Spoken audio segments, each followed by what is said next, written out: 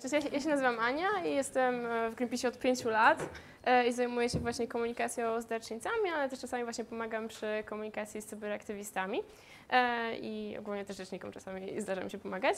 No to, no to zaczynamy w takim razie. Zacznijmy od tego, no, od tego magicznego słowa cyberaktywista.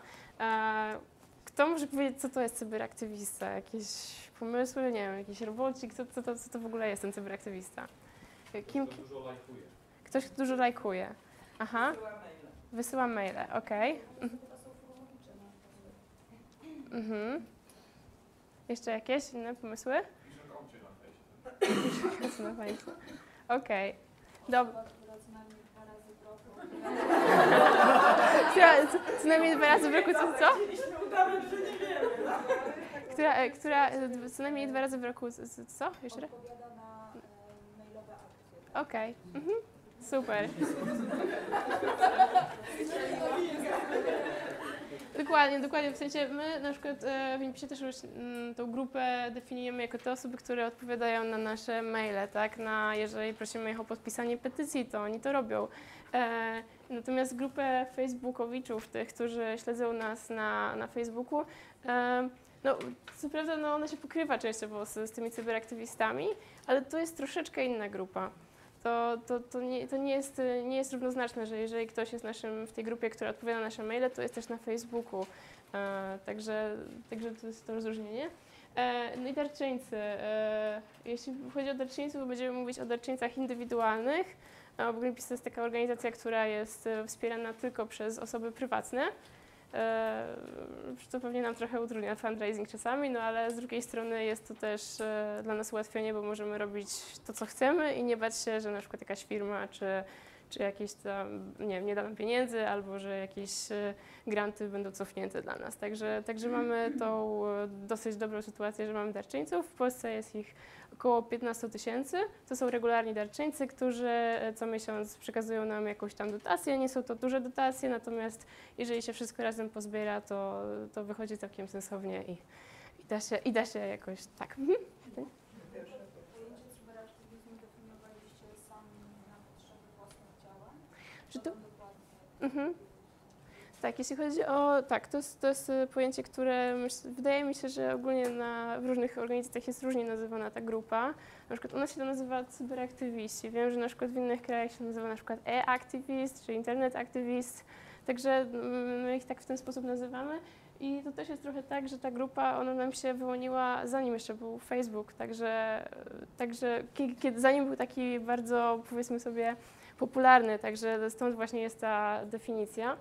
Zresztą też, też jeśli chodzi o to, jakby jak działają ludzie na, na Facebooku, jak właśnie na, na, odpowiadają na maile, e, to zauważyliśmy, że jeśli chodzi o na przykład podpisy pod jakimiś petycjami, dużo lepiej, przynajmniej dla nas, działają maile. Bo, ponieważ mail jest taką bezpośrednią prośbą do jednej osoby, jedna osoba pisze do drugiej i bezpośrednio prosi o jakieś działanie, natomiast Facebook e, działa trochę też tak, że czasami jak się wstawi tam jakiś ładny obrazek, to ludzie zlajkują, nie czytając nawet, co jest tam powiedzmy napisane. Także dlatego jakby my zawężamy tą grupę cyberaktywistów do tych, e, do tych osób, które po prostu odpowiadają na nasze maile i, i, i się tam udzielają i, i robią to, o co, o co ich tam prosimy. A jaką macie tą dotację małą przeciętnie? Jak najmniejszą, czy e? Średnio. średnia, średnia to jest około 30 zł w tym momencie. Czyli e, jest dosyć duża grupa, która daje na przykład 15 zł, no ale są też jakieś tam pojedyncze osoby, które dają na przykład 100 zł, bo tak w ten sposób e, jakby chcą dawać. I stąd jest ta średnia, także ta średnia wcale nie, nie znaczy, że, że dostajemy jakoś tak, e, od, jakby, jakby podzielić to wszystko na wszystkich tych wolontariuszy, że, znaczy darczyńców, że, że, tak, że tak jest dobrze. E, no i też, mhm, Ja tylko krótkie pytanie, czy to działa na zasadzie polecenia zapłaty? tak, to działa na zasadzie polecenia zapłaty. Także to jest, y, i mamy, formularz, w którym oni mogą sami, e, te osoby, które wypełniają te formularze, e, przyszli darczyńcy, tak, oni mogą sami jakby zakreślić tam, jaką chcą kwotę, jaką chcą kwotą nam, nas, nas wspierać.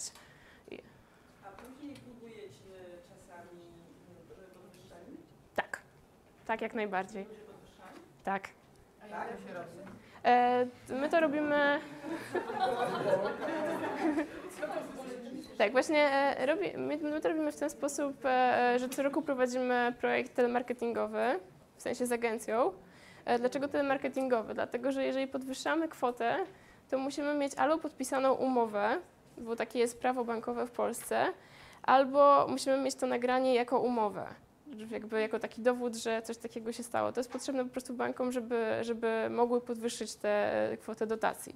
Także, e, i, i, także w ten sposób to robimy, że po prostu do nich dzwonimy i, i jakby w zależności od tego, jakie są potrzeby kampanijne na daną kampanię, ich prosimy o to, żeby zwiększyli swoją e, kwotę dotacji.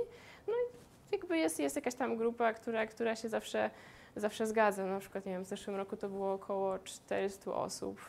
Także to wyszło nam dosyć, dosyć dobrze.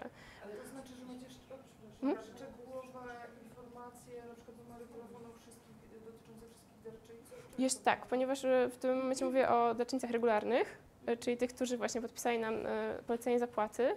Jest tak, że na naszym formularzu są też dane e, właśnie kontaktowe, czyli adres e-mail, adres e, do korespondencji i właśnie numer telefonu. I no my możemy dzwonić wiadomo tylko do tych, którzy nam podają ten numer telefonu. Natomiast numer telefonu ogólnie e, z mojego doświadczenia jest dosyć, dosyć ważną daną, tak, bo Na przykład też robimy że wysyłamy SMS-y naszym darczyńcom, co jest też dosyć fajne. Jeśli na przykład robimy jakieś wydarzenie, to możemy ich po prostu SMS-em, im przypomnieć na przykład SMS-em o tym wydarzeniu, żeby się pojawili, czy, czy na przykład w ten sposób ich jakoś jeszcze dodatkowo zaangażować. Dobrze zrozumiałam, że firma marketingowa dzwoni do każdego z tych darczyńców, żeby ich poprosić o Mhm. us- Ustawiamy sobie jakąś bazę, tak, segmentujemy ją na zasadzie e, tego, ile mają wpłat, w sensie ile mają wpłat, jak często jakby udaje nam się pobierać, a no bo to jest też jedna ważna rzecz, że to, że mamy darczyńców, powiedzmy sobie, których, którzy wpłacają nam co miesiąc, jakby mają, jakby zadeklarowali się, że będą nam wpłacać co miesiąc, to wcale nie znaczy, że co miesiąc mają te pieniądze na koncie, także e, jakby jeżeli chodzi o ten projekt e, marketingowy, w którym, e, w którym prosimy jakby o zwiększenie kwoty, to wybieramy te osoby, które no dosyć często mają te pieniądze. W sensie nie ma sensu prosić kogoś, kto, kto, to, kto ich nie ma, no bo to po prostu będzie strata pieniędzy dla nas, tak? Bo wiadomo, że agencji tej marketingowej też musimy za to, za to zapłacić. Choć, choć pewnie gdybyśmy robili to in-house, to byłoby dużo, dużo droższe. Także, także tak. I ogólnie jeśli chodzi o te projekty te marketingowe, tutaj bardzo polecam, żeby robić to właśnie, e, żeby to outsourcować, żeby robić to z jakimiś zewnętrznymi firmami. E, Tutaj bardzo ważne jest to, e, przynajmniej dla mnie było bardzo ważne przy wyborze tej agencji, żeby zobaczyć w jaki sposób są traktowani te marketerzy, no bo wiadomo jest to taka praca, mm, ró- różnie bardzo to wygląda. I my akurat wybraliśmy taką agencję, która no po pierwsze miała, znaczy nie miała jakiegoś dużego doświadczenia, ale widać było, że ludzie tam siedzą dosyć długo. Był też różny wiek tych osób. Jeżeli mamy agencję, w której, w której powiedzmy sobie widzimy, że cała sala jest pełna studentów, którzy pewnie zaraz rzucą tą pracę i wezmą sobie jakąś lepszą, no to znaczy, że no, może nie jest to najlepsze. Natomiast jeżeli mamy agencję, w której są też osoby, nie wiem, na przykład po 50 i one tam pracują, to, to znaczy, że jest, jest tam trochę lepiej. To znaczy, że można tam pracować po prostu i traktować to jako taką pracę e, długofalową. Na przykład w naszej, w naszej agencji jest tak, że, że ludzie pracują tam i po 5 lat i dłużej, także, także to, jest, to jest dosyć ważna wytyczna, żeby po prostu mieć pewność, że osoby, które będą do nas dzwonić, nie odbębniają tego od tak po prostu, tylko że jest to ich praca i są specjalistami w tym i, i, i, i wiedzą, jak to robić. Mhm.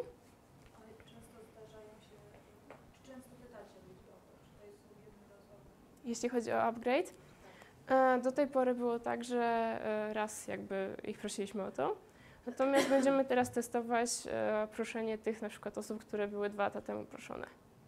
Bo jest też trochę tak, że mm, jakby nasi, e, to polecenie zapłaty, e, jakby to pozyskiwanie darczyńców u nas wygląda w ten sposób, że mamy fundraiserów na ulicy, takie, takie, takie osoby w takich, nie wiem, może widzieliście, w takich zielonych ubrankach i one tam mają takie formularze właśnie, no i tam zaczepiają ludzi i proszą o jakąś dotację. Na pewno za pierwszym razem łatwiej jest kogoś poprosić o niższą dotację niż o wyższą. W sensie, że gdyby zaczepiali ludzi i prosili ich od razu, nie wiem, na przykład o 100 zł, no to prawdopodobnie ich e, wyniki dużo byłyby gorsze, a oni też e, mają jakby te swoje wynagrodzenie zależne od tego, ile będą mieli tych darczyńców. Także, także dlatego, dlatego w ten sposób to wygląda. E, no właśnie, no i, no i później po prostu możemy ich, ich zwiększyć. Często, często jest tak, że, że po prostu prosimy o zbyt mało pieniędzy. W sensie, że my prosimy o jakąś tam kwotę, bo nam się wydaje, że to będzie tak w miarę w porządku, jak poprosimy o tą kwotę. Natomiast y, dla niektórych to nie ma problemu, żeby dać więcej.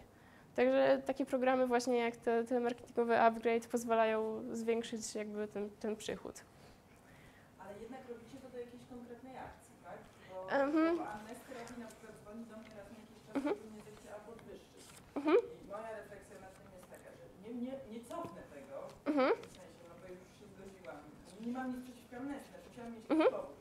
Ale też nie podwyższę, no bo mm, mam jeszcze inne cele, które sobie tam Mhm. wyznaczyłam. A też nie mam powodu. Nie Mhm. dają mi takiego powodu, żebym ja podwyższyła, oprócz tego, żeby chcieli. Mhm. Yy, To tak. I dlatego pytam, nie, bo mi się wydaje, że to jest ważne, że na przykład Tak. do jakiejś akcji to, To jest inna motywacja. Fajnie, fajnie, że o tym powiedziałaś właśnie, bo to jest bardzo ważne. Jeżeli poprosimy ludzi o pieniądze, jest dużo większa szansa, że dadzą nam te pieniądze, e, jeżeli poprosimy ich o danie ich na jakiś konkretny cel. I jeżeli oczywiście poprosimy ich o te pieniądze na ten konkretny cel, to później jesteśmy zobowiązani, żeby im dalej jakby pokazywać, jak te pieniądze wpłynęły na rozwój jakby danej kampanii czy, czy, czy jakiejś rzeczy. Także no, możemy, jakby dużo lepiej będzie się zbierało pieniądze na, na coś konkretnego. Natomiast musimy też bardzo uważać to z tym, co obiecujemy, tak? Nie możemy obiecywać czegoś, co nie jesteśmy pewni, że się stanie, bo wtedy będziemy po prostu niewiarygodni. A akurat dla organizacji pożytku jakby publicznego, organizacji pozarządowych ta wiarygodność jest bardzo, bardzo, bardzo ważna. Przy, przynajmniej, przynajmniej, nie wiem, dla nas w Greenpeace mamy dosyć dużo, e, dużo powiedzmy sobie e, takich, e, nie, może wrogów, no, powiedzmy, że wrogów, tak? niezbyt przychylnych e, instytucji. Także, także wiadomo, że jeżeli my się z czymś podkopiemy, to to będzie nam bardzo, e, bardzo szeroko wszędzie opisywane i bardzo często wypominane. Także w ten sposób. Także zdecydowanie konkretny cel to co działa dużo, dużo lepiej.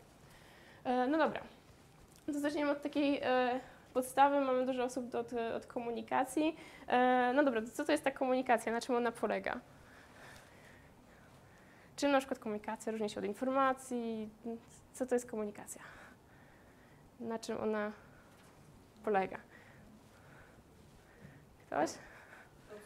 Proces. Mhm, mhm. Proces dwustron- dwustronny, dokładnie. E, Jest zawsze tak, że mamy jakiegoś nadawcę, ktoś wysyła jakiś komunikat, e, no jest odbiorca, który może w różny sposób bardzo zinterpretować ten, e, ten komunikat. Możemy, możemy używać różnych kanałów, żeby się komunikować i możemy bardzo różnie sprecyzować naszą wiadomość. Dodatkowo, nawet jeżeli użyjemy fajnego kanału i bardzo ładnie się postaramy sprecyzować naszą wiadomość, mogą pojawić się po drodze zakłócenia. I no dobra, no, co się może zdarzyć, że na przykład nasza, e, nasz komunikat nie zostanie dobrze odczytany, że ktoś go zupełnie inaczej na przykład zinterpretuje. Mieliście kiedyś taką sytuację, że na przykład wysłaliście jakiś komunikat, a zostało to totalnie przekręcone? Mhm. I jakieś, jakieś wnioski, co się wtedy mogło stać? Dlaczego tak się, tak się stało? Bogowie. No. No bywa też, że mój komunikat nie był wystarczająco precyzyjnie sformułowany. Mhm. Precyz... Język. Mhm. No mieliśmy sytuację, byliśmy wczoraj z Kasią. Mhm. Dostaliśmy grant z Batorego i myślę, że duży wkład w to miało sformułowanie naszego wniosku i sam tytuł Mhm. grantu audyt, co bardzo dobrze podziałało na komisję oceniającą. Mhm. Ale ten sam, e, te, to samo słowo w odniesieniu do kliniki leczenia płodności, które będziemy audytować, podziałało paraliżująco. Mhm. Uważają, że będziemy mieli sprawdzać rachunki. No i to jest pokazanie bo- boczności Mhm. tego samego, tej samej frazy czy komunikatu, jak różnie może podziałać na różne grupy i też jak bardzo uważnie trzeba dobierać. Mhm.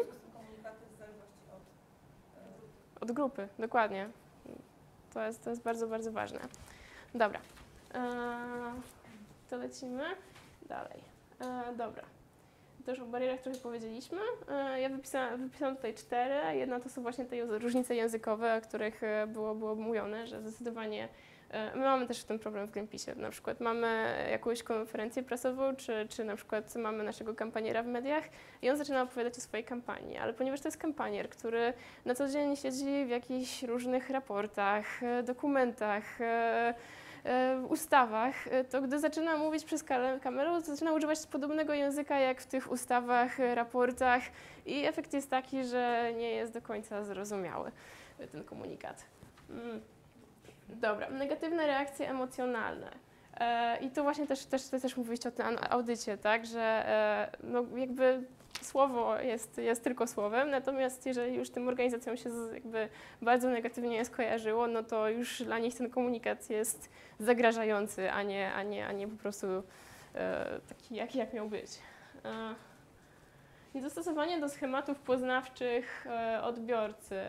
E, dobra, i teraz co to są te schematy? E, te, te schematy. To, także to, to jest, te, te schematy to jest taki podstawowy jakby element wiedzy o świecie, czyli w trakcie życia my jakby napotykamy różne, różne sytuacje i w oparciu o to, co się stało, jakie mechanizmy wtedy zadziałały, e, kiedy coś tam się stało, to później sobie tam e, myślimy, że jeżeli się stanie coś jeszcze innego, to pewnie będzie podobnie jak poprzednim razem. To, to jest jakiś taki, e, to, to, to, to jest bardzo zależne od naszego o, od naszego doświadczenia. No to też może być ten przykład z audytem, tak? Bo jeżeli wcześniejsze audyty dla tych organizacji nie były zbyt e, dobre, to, to, to też im się już, już, już kojarzy to nie, nie najlepiej. E, dobra, no i przeciążenie informacyjne. E, czasami, i to też jest na przykład problem, który mamy w Greenpeace, że czasami jest tak, że jakby bardzo się cieszymy, że ktoś przyszedł do nas, jakiś dziennikarz, i ta kampania, którą prowadzimy, jest taka ważna, że chcemy po prostu wszystko o niej powiedzieć, wszystko, żeby wszyscy już zrozumieli. Efekt jest taki, że mamy jakiś po prostu natłok informacji w bardzo krótkim czasie, na przykład 3 minuty, w którym, e, w, którym to czasie opowiadamy o energii węglowej, o energii jądrowej, o czymś tam jeszcze, o zależnościach jakichś energetycznych od Rosji i tak. I efekt jest też taki, że no, I później na przykład poja- pojawia się informacja, że Greenpeace znowu wspiął się na komin, bo nikt nie zrozumiał tam tego komunikatu. że Greenpeace znowu wszedł na komin. Także no, to, jest, to jest takie zagrożenie, także że nie możemy też e, za dużo tych, e, e, tych informacji na raz dawać. No dobra, to teraz będą takie przykłady i będziecie zgadywać, co to takiego jest, jakie to, jaka to bariera. No dobra. Węgiel zabi- zabija. Zanieczyszczenia z kominów Polskiej Grupy Energetycznej powodują nawet 2000 przedwczesnych zgonów rocznie. Powiedz stop truciu przez PGE. Jak sądzicie, czy taki komunikat jest bardzo motywujący, żeby, żeby tutaj jakoś zadziałać? Jaki w ogóle będzie wpływ tego, że powiemy stop truciu przez PGE? Nie, nie lepiej spersonalizować, to czyli pokazać Mhm. skutki dla jednej konkretnej osoby. Mhm. Dokładnie, lepiej, lepiej pokazać skutki dla jednej osoby. Poza tym, słuchajcie, też patrzcie na to, że e, na to w ogóle zdanie, węgiel, na to, na to hasło, węgiel zabija. W sensie, no, no fajnie, że, jakby, że tam Greenpeace nam to powiedział, ale gdzie się nie obrócę, tam są kominy. To ja chyba tak nie do końca chcę to wierzyć, bo ja tak nie czuję, żebym miała na to za duży wpływ. Także, no tam może zabija, ale nie wszystkich, nie mnie. I ja tam nic z tym nie będę robić, bo to nie jest moja sprawa. E, czyli tutaj mamy właśnie te negatywne też e, i, i, i negatywne właśnie reakcje emocjonalne. No i też to, że właśnie nie jest to sprecyzowany komunikat do jednej osoby, tylko do, do całego ogółu. Hmm, jak myślicie, co może być tutaj? To jest w ogóle, e, no zaraz może rzu- rzucę w jedną i drugą stronę. To jest e, bardzo, bardzo stary poradnik, e, poradnik konsumencki, który to poradnik możecie sobie wziąć na zakupy i zobaczyć, jakie ryby możecie jeść e, jakie, jakie nie. I to jest pierwsza strona tego poradnika, która jakże bardzo zachęca do tego, żeby przeczytać następne. Ale to jest kwestia edycji akurat. No Bo tak, to jest- Tutaj mogą być dłuższe teksty, Mhm. tylko trzeba je dobrze wyedytować, Mhm. bo nawet zrobić typografię tekstu. Mhm, mhm. Dokładnie, ale tutaj mamy jakby w tym tekście też, e, znaczy możecie go w ogóle przeczytać sobie o przemysłowych flotach, coś tam o, o, o zmniejszaniu się tych zasobów ryb, nawet jest o ONZ, jest coś. Jest, jest dużo, dużo bardzo informacji. Przerzucamy dalej? Czy, dobra.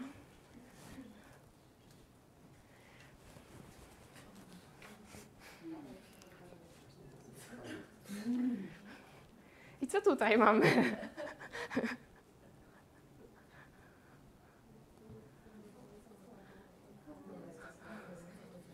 Które,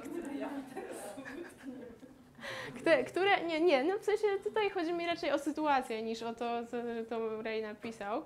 Chodzi raczej o tą sytuację z tą, z tą, z tą, z tą babą, no jakie ona bariery na, napotkała jakby. Chociaż się chyba nimi, no, chociaż się chyba nimi specjalnie jakoś nie, nie, nie, nie przejęła. Bo i tak jakoś przeżywała to muszę na swój sposób. Dobra, dalej. A możesz mi nie dać Aniu? Okej, e, tu mamy przedszkole i pani mówi, to najsilniejszy spadek z indeksu ZEW od kwietnia 2013 roku i zarazem piąty spadek z rzędu. Zgadza się. Zgadza się, dobra. Mhm. No dobra. E, A czym musiałby się różnić taki komunikat do jednej osoby? Mówiliśmy, że fajnie jest personalizować do jednej osoby, bo wtedy od razu jakby ta osoba czuje się bardziej jakby zaangażowana, że coś musi rzeczywiście coś zrobić. E, A, a czym do, do wielu osób? Co zrobić, jeżeli mamy, musimy się skomunikować nie z jedną, ale z jakąś całą grupą po prostu? Jak ten komunikat sformułować? Jakieś pomysły?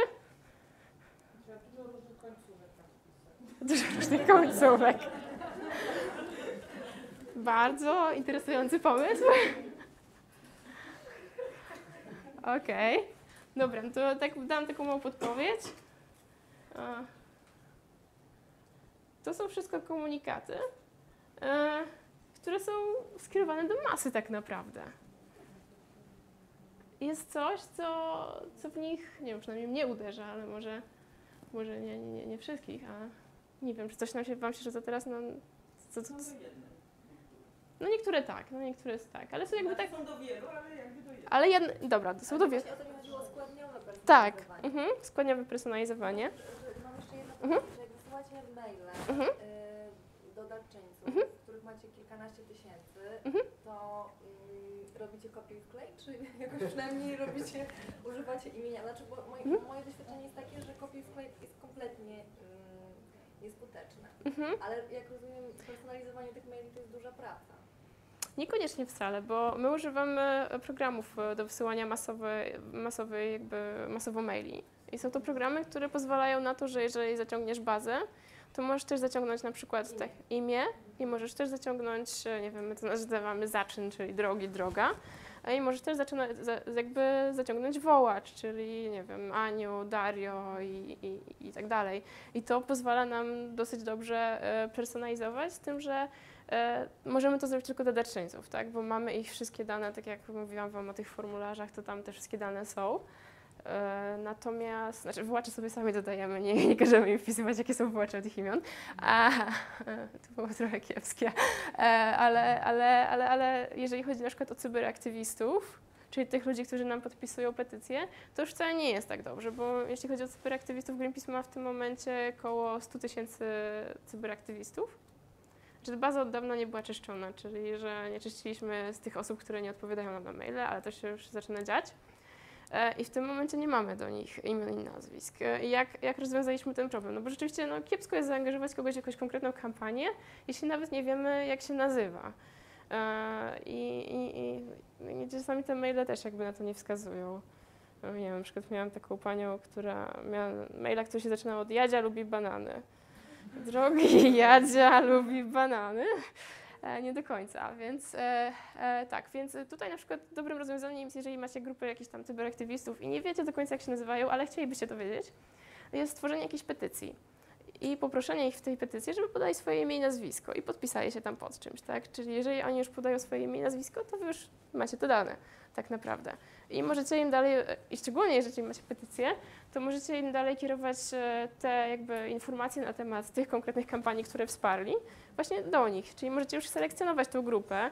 Jeżeli mam na przykład e, osoby, które się podpisały pod petycją na rzecz, nie wiem, powiedzmy Puszczy Białowieskiej, to jeśli mamy kolejne informacje dla nich, czy jakieś kolejne petycje do podpisania, no to nie będziemy wysłać do ogółu może ludzi, którzy się tym nie interesują, tylko właśnie do tych, którzy się interesują Puszczą Białowieską. Także to, to bardzo później ułatwia tą komunikację. I to bardzo przyspiesza, bo ja właśnie sprawdzałam, Mhm. jak to działa u Was, jak y, Mhm. była ta sprawa Arktyki. Tak. I rzeczywiście to działa szybko. Znaczy jest petycja, podpisana, natychmiast dostałam odpowiedź, dziękuję Ci Mhm. bardzo, że wsparłaś, spersonalizowaną w Twoim imieniu. Mhm. Tak. Tak żeby nie było. Żeby nie było tak. No bo- że musiałoby to, za szybko się to musiałoby chyba odbyć. Tak, to też zależy od tego, jak mamy Ale zaprogramować. rzeczywiście to jest strasznie fajne, bo się czuje i konkretna osoba się podpisała, nie zespół, tak mi się przynajmniej Tak. wydaje, że jakby ja specjalnie to spra- znaczy Mhm. bardzo oczywiście mnie przejmowała ta sprawa, ale przyznam, że głównym powodem było, że chciałam zobaczyć jak zarządzacie. Mhm, mhm. E, I, I później rzeczywiście dostałam kolejne rzeczy, jak się coś działo w związku z, e, z tym. Jakby jest to fajne. Fajne. Działa, działa, działa. I jeśli chodzi właśnie o te maile, jakie, które jakby są, że od razu dostajesz e, odpowiedź, to też jest kwestia właśnie tych programów mailingowych. One też mają e, często, nie wszystkie, ale niektóre z nich mają taką opcję właśnie, że można e, ustawić taką automatyczną auto odpowiedź lub też można zrobić drugą stronę, czyli zaprogramować to po prostu przy jakby formularzu do wpisywania tej petycji, żeby te maile się automatycznie wysyłały. Także to Mam jeszcze jedno Mhm. pytanie. W jaki sposób informujecie media o swoich wydarzeniach? Mamy rzeczników prasowych, którzy się tym zajmują. Oni po prostu odzywają się konkretnie do ludzi, których znacie i których wiecie, że są zainteresowani danym, tematem. Oni tak, oni mają swoją bazę, e, swoją bazę jakby e, dziennikarzy, którą tam przez lata e, po, jakby zdobywali i się do nich e, wtedy odzywają. No poza tym też na pewno zawsze jest też komunikat wysyłany do papu, tak, jeżeli, jeżeli coś się coś się dzieje, to często też jakby dziennikarze sami się zgłaszają, także to wtedy jest. Mhm. Jak już zbierzecie przez petycję dane, łączyć mail z imieniem i nazwiskiem, a Mhm. jeszcze pewnie, czy w pewnym momencie już łączycie też te, te dane z danymi, które macie z zbiórek? I jeżeli tak, to jak głęboko idziecie w tym, jakie dane zbieracie o Dane- osobach, Dane, cybernaktywistach? dane zbiórek, jeszcze raz. Dane zbiórek, e, czyli osób, które płacą, darczyńców. Czy łączycie te dane ze sobą? Czy łączymy te bazy dane ze sobą? E, w sensie hmm, filtrujemy je trochę, żeby na przykład, bo, bo jest też tak, że nie wszystkie wiadomości, które idą do cyberaktywistów, idą do darczyńców, a jak się możecie domyśleć, ta grupa się też trochę nakłada, tak? Częściowo e, część naszych darczyńców jest także cyberaktywistami. E, natomiast wiadomo, znaczy z mojego doświadczenia wynika, że jeżeli mamy jakąś sprawę, która jest taka, że my do końca nie jesteśmy pewni, jak ludzie zareagują, bo na przykład jest to coś, nie wiem, na przykład węgiel zabija, tak. Jest to coś takiego, że nie jest to do końca miłe, trochę może pokazywać, że jest jakiś ogromny problem i tak jakoś trudno będzie sobie z nim poradzić, to wtedy na przykład takich e, informacji e, nie wysyłam do wszystkich darczyńców. Także wtedy po prostu ja filtruję ich. I jak, a, okej, To- to, to to na- odpowiedź, ale Mhm, to pociągnę też ten wątek. Jak dokonujecie tego filtrowania? Jakie pytania sobie zadajecie.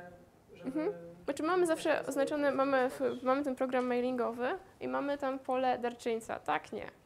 I na podstawie tego, jeżeli jest e, informacja, która, znaczy bo ja jestem osobą, która się zajmuje darczyńcami, także to ja decyduję, czy to coś, jakaś informacja do nich pójdzie, czy też nie. Więc jeżeli ja stwierdzę, że no nie jest to do końca informacja, którą e, jakby powiedzmy ja im chciałabym przekazać, szczególnie jeżeli na przykład nie jest spójna z tym, co dostali e, we wcześniejszych informacjach, tak? Bo na przykład oni wpisują się, e, zauważcie też na ulicach, tak? I to jest tak, że to, że oni się wpisują w ogóle, e, to jest głównie zasługa tych fundraiserów, ich energii, tego, o czym im opowiadali, też zależy o jakiej kampanii. Czasami też mamy ludzi, którzy konkretnie chcą wspierać tylko jedną kampanię, a nie chcą jakichś tam innych, więc wtedy też nie ma sensu do nich tego, tego, tego wysyłać, te, te, te informacje. Znaczy dane, dane do, do y, Mhm.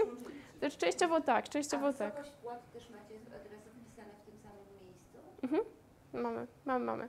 Znaczy, a jeżeli nie mamy, to po prostu zaciągamy sobie taką bazę, bo jakby mamy, bo są różne, różne rodzaje jakby, tak? Niektóre organizacje czy, czy firmy, chyba głównie firmy, mają takie zwane CRM-y, czyli to są takie programy, które, e, dzięki którym możecie budować całą komunikację, bo tam macie wszystkie dane i tam możecie z tego wysyłać SMS-y, maile, coś tam jeszcze i wszystko się ładnie, ładnie robi szybko i przyjemnie. E, natomiast my mamy tak, że my jesteśmy globalną organizacją, i my trochę też e, możemy e, używać tego, co dostaliśmy, jakby, co na przykład globalna organizacja kupiła i postanowiła nam dać, tak? Więc mamy oddzielnie program do, do, do wysyłki maili, oddzielnie mamy bazę darczyńców taką jakby na komputerach, która wisi na serwerach i oddzielnie mamy na przykład program do wysyłania SMS-ów. Także, także to, to wygląda w ten sposób. Są wasze własne programy, czy Nie. kupione? A jakie można wiedzieć? no, nie wiem, czy możecie wiedzieć. Sensie, chodzi o to, że jeśli chodzi na przykład o, o, o, o mailingi, no dobra, to mogę powiedzieć, my używaliśmy jakiegoś takiego międzynarodowego Silverpopa, teraz przeszliśmy na coś, co się nazywa Engaging Networks i to właśnie dosłownie na dniach przeszliśmy na to i trochę jesteśmy przerażeni, bo to znowu jest uczenie się tych zasad, y, tego segmentowania ludzi, zaciągania, personalizowania od nowa w zupełnie innym systemie. Przez jakiś czas też używaliśmy GetResponse. E, To akurat jest polskie, wbrew pozorom. I, I ogólnie jakby jak się, jak się wpisze w Google e, czy, czy w jakiejś wyszukiwarce ogólnie e, właśnie program do wysyłki masowej e, maili, to można, to można zobaczyć różne, tak? I warto po prostu też porównać sobie ich oferty i zobaczyć na ile one są dostosowane do Waszych potrzeb. Bo na przykład przy tym polskim rozwiązaniu okazało się, że przy naszej ogromnej bazie był to program, który nie do końca dawał, dawał rady, tak? W sensie, że o ile ładnie się wysyłały mailingi, to bardzo ciężko się później robiło coś z tymi danymi, które dostawaliśmy z powrotem. Także, czy które zaciągaliśmy, też ciężko było je zaciągnąć, także, także to, jest, to jest też to. A jeszcze jedna wa- ważna rzecz, jeśli chodzi o mailingi i właśnie o to, do kogo je wysyłamy. E, Na nasz, na, my mamy taką zasadę, że jeżeli mamy mailing, to nadal mamy taki link, w który można kliknąć, żeby zrezygnować z dalszych, e, z dalszych otrzymywania dalszych mailingów. I to jest myślę bardzo ważne, tak, żeby ludzie mieli ten, e, ten wybór, tak. Jeżeli na przykład ktoś powiedzmy nie zauważył tego linka i dzwoni do nas, że chce z tego zrezygnować, to też oczywiście nie ma, nie ma żadnego problemu. To jest ważne, żebyśmy nie wysyłali tych mailingów do osób, które po prostu nie chcą. Jeszcze mam takie pytanie, jeżeli korzystacie z tych produktów, to to jest tak, że na przykład te firmy, e, z których usług korzystacie, wykorzystują w jakiś sposób na swoje cele te dane, albo tylko że przekazują innym podmiotom, Nie. Nie, nie, nie, nie, nie. To też zawsze musicie zobaczyć w, w umowie, tak? To są jakby dane waszych ludzi, tak? I, i, i tylko jakby, no i nie, jakby te firmy nie mają żadnego prawa, żeby, żeby cokolwiek z nimi robić. To samo jest przy projektach telemarketingowych i ogólnie jakichś takich zewnętrznych właśnie e, projektach z zewnętrznymi firmami. Nie, nie, nie, ma, nie ma mowy, żeby cokolwiek robili z tymi danymi. A powiedziałaś, że e, czasami ludzie chcą dać na jakąś jedną konkretną Mhm. kampanię, ale przecież wy tych funduszy resursów nie rozdzielacie, czyli tak wszystko wpada do jednego worka, więc poza tym, że Mm. ktoś dostaje inne maile, to właściwie nie ma różnicy. To zależy, no też trochę zależy to od, od księgowości, tak? Jeżeli zaksięguje coś bardziej w, te, w ten sposób, no to jest taka możliwość teoretycznie, także natomiast z drugiej strony, jeżeli dajesz na jakąś kampanię, no to wiadomo, że twoja kampania też będzie miała więcej pieniędzy, tak? Bo to jest ogół. Także, także to wygląda w ten sposób. Te, te, te pieniądze się bardzo one są roz- rozkładane na bardzo, bardzo wiele różnych, e, różnych rzeczy i, i, i to po prostu jest kwestia już księgowania. Jeśli chodzi o te kampanie, no to wiadomo, że są jakieś fundusze. Natomiast to też jest ważne, bo my działamy na zasadzie jakichś budżetów, tak?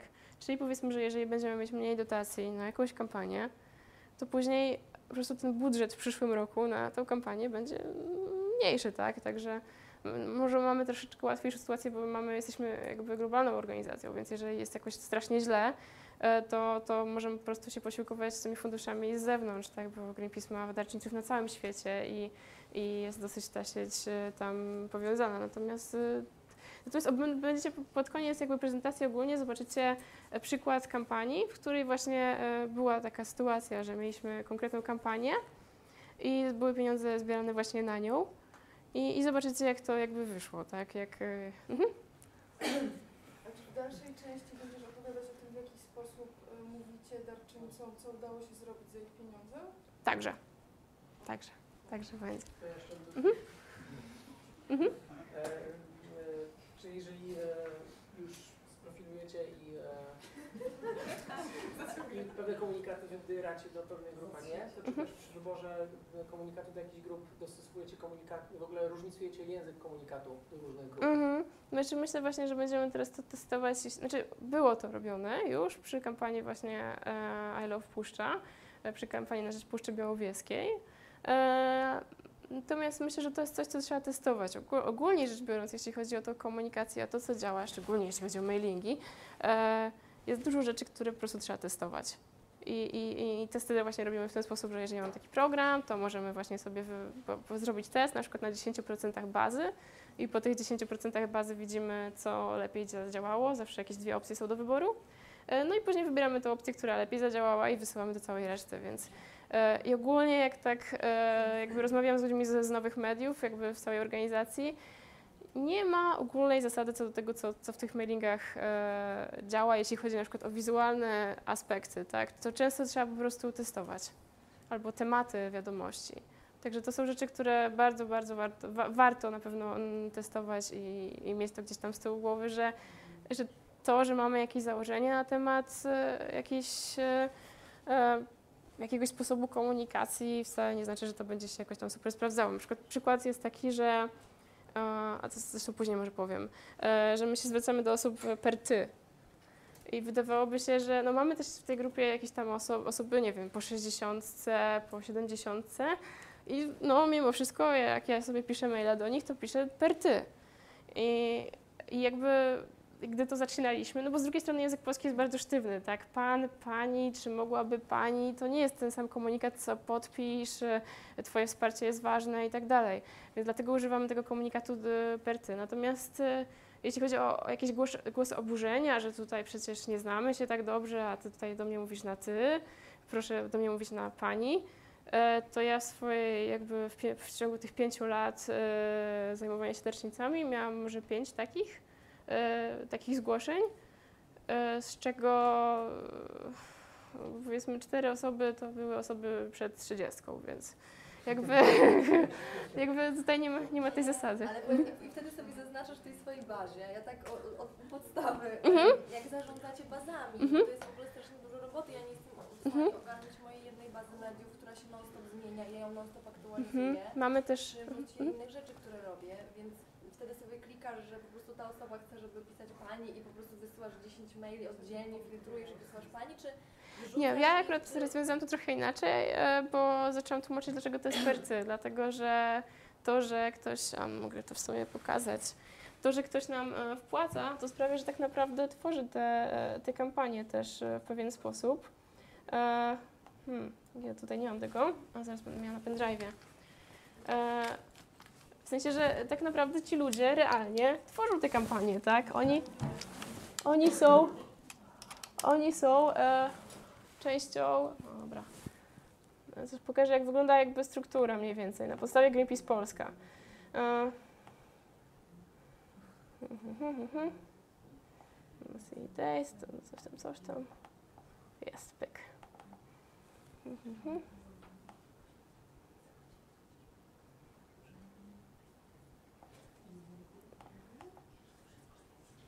U nas wygląda to mniej więcej tak. E, ta grupa organizacji to są darczyńcy. E, to takie czerwone to są wolontariusze. No i reszta to tam jest właśnie fundraiserzy, czyli ci, którzy pozyskują jakby na ulicach e, dotacje. No i to nie- jeszcze jest biuro, od których w ogóle jakoś chyba dziwnie... To jest jakby struktura, jakby kto tworzy tą organizację, tak? Mniej więcej tyle osób jakby to są, to są darczyńcy, a reszta to są ci, którzy mamy wolontariuszy i, i jakby osoby pracujące w biurze. Czyli tak naprawdę to ci darczyńcy tworzą tę organizacje, tak? Już 40 lat, jakby gdyby nie ci ludzie, te indywidualne osoby, które wpłacają te swoje miesięczne, czy jakieś tam roczne, czy, czy półroczne, czy jak, jak tam właśnie będą chcieli dotacje, to, to byśmy nic nie zrobili po prostu. To jest po prostu masa ludzi i oni, e, ja im to tłumaczę w ten sposób, że to oni jakby tworzą tą, tą organizację, że to bez nich my byśmy nie istnieli. Dlaczego więc mamy do nich jakoś e, e, jakby rozmawiać z nimi jako per pan, pan, ktoś obcy, skoro to jest ktoś, kto tak naprawdę jest nam bardzo bliski, bo dzięki niemu istniejemy. Także ja to w ten sposób rozwiązałam i później już nie miałam jakoś z nimi problemów dalszych, także to jest... Co to jest za przełożenie na ten prostokąt? No bo koło to To jest, to, to jest ten taki To jest- Ten prostokąt to jest to tutaj ten taki. fundraisującego z tego malutkiego, jednego procenta jeszcze stanowią Tak. No i jakby nie, to jest ogólnie, e, to się przykłada na, na, na Greenpeace Polska, natomiast to się też przykłada na wszystkie inne Greenpeace'y.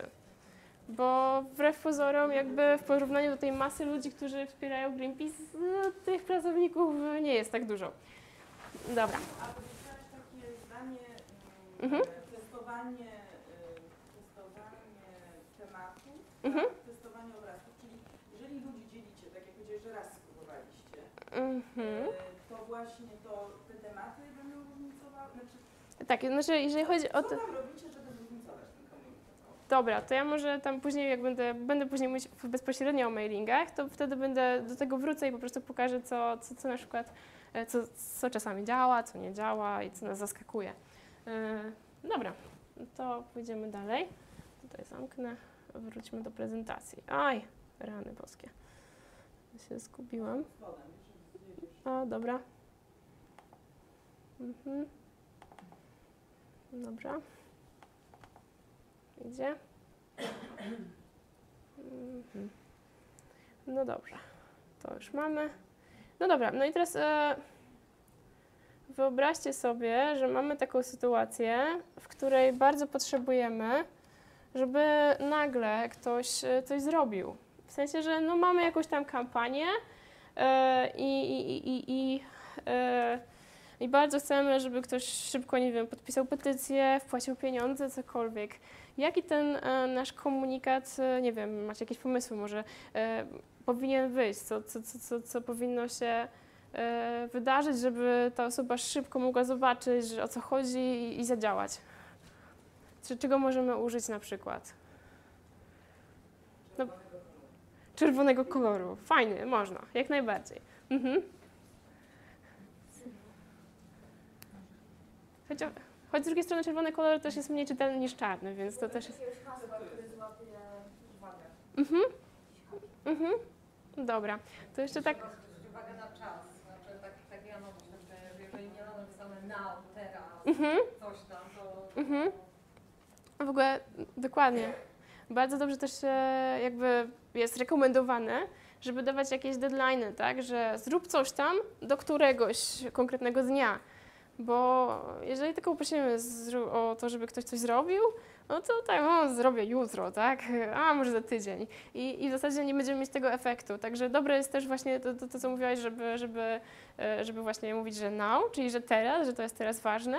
E, No i kolejna rzecz właśnie, żeby dawać te deadlines. A, no jeszcze chciałam tak jakby pokazać Wam takie porównanie dwóch e, e, takich e, instrukcji, co zrobić w razie pożaru. E, no i, i pytanie, e, którą, gdyby tutaj wybuchł pożar i mielibyście do wyboru jedną i drugą instrukcję, którą wolelibyście zobaczyć? Czyli to jest pierwsza? Mhm. I, I dlaczego? Zdążylibyśmy ją przeczytać. Tylko ręce będą się. Okej, no zgadza się. No i patrzcie teraz też e, tutaj, e, no mamy niby zedytowany tekst, mamy dużo informacji, mamy tu też to przeciążenie trochę. Em, patrzcie, dokładnie. Mhm. Mhm. A jeszcze zobaczcie, że e, co działa, bo pewnie jak popatrzyliście na te instrukcje, nie wczytaliście się specjalnie w ich treść, a już od razu wiedzieliście, którą wybrać. Co, co zadziałało, że od razu wiedzieliście, że ta instrukcja, jakby ona wam od razu mówi, co macie robić? Obraz. W razie pożaru naprawdę liczy się czas. Dokładnie. I ochot- Ochotnicza Straż Pożarna po prostu bardzo szybko zaczęła robić infografiki. Mhm. Pierwsza. Mhm, Także, także to jest, to jest, e, no właśnie, obrazki też bardzo często to co, to, co pokażemy w naszych komunikatach, będzie wpływało na to, co zrobią dalej ludzie, bo po prostu zobaczą, że jest jakaś potrzeba, że coś się, coś się dzieje. E, dobra. Ja sobie wrócę chyba do, do tego pokazu. Dobra, to już mamy. Okej, no to teraz e, trochę o kanałach komunikacyjnych, bo jest ich e, trochę. Jakimi kanałami, powiedzmy, można się porozumiewać z naszymi darczyńcami? W sensie, gdzie oni mogą dostać tą informację o tym, co robimy? E, nie wiem, znaczy kanał, kanał to jest ogólnie to, czym, czym, czego używamy, żeby przekazać naszą wiadomość. Strona internetowa, Mhm. Mhm. Mhm. Facebook, zgadza się. Mhm. Mhm. Zgadza się. Dobra. E, wszystko się zgadza, ja tutaj dużo więcej nie dodam. E, media społecznościowe, nowe media, różne strony internetowe. E, e, możemy też robić papierowe materiały informacyjne. I nad tym trochę się, trochę się pochylę, bo mamy różne doświadczenia z robienia materiałów informacyjnych. Bardzo różnie to działało. Znaczy one, one generalnie, te materiały informacyjne działają wtedy, kiedy się z kimś spotykamy i chcemy, i chcemy jakby coś pokazać. Zaraz jakby podzielimy na jedną i drugą tą. Dostaniecie takie ulotki. Zaraz się na nich pochylicie, pochylicie się nad nimi i zobaczycie, które są jakby waszym zdaniem lepsze, które gorsze, dlaczego. I przy okazji będziecie e, zgadywać, e, które to ulotki mm, zrobił powiedzmy nasz wolontariusz i nie zapłaciliśmy za nie, a które, e, a- za które zapłaciliśmy. Dobra, to idzie z tej strony. E, Może tak, żeby do środka też doszło. E, Przez nowe media, różne strony internetowe, także nasza strona. Natomiast tak, o tu jeszcze tam dam na, na środek trochę. Przekazujcie sobie dalej, a zaraz zobaczycie, jak to. Dwa rodzaje, tak, tak. A jeszcze może tutaj mam jakieś.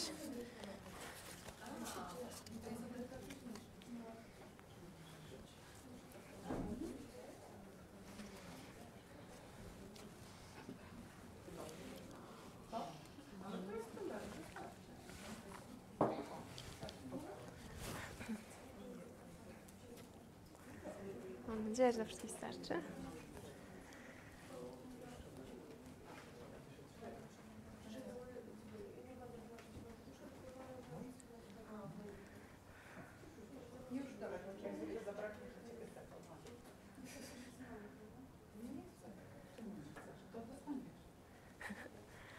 Dobra, wszyscy mamy? Znaczy, i- jak nie, to proszę się podzielcie po prostu, bo chyba może za mało ich wzięłam, nie wiem. A jak ktoś nie ma, to mogę jeszcze dać inny też przykład fajny. Proszę.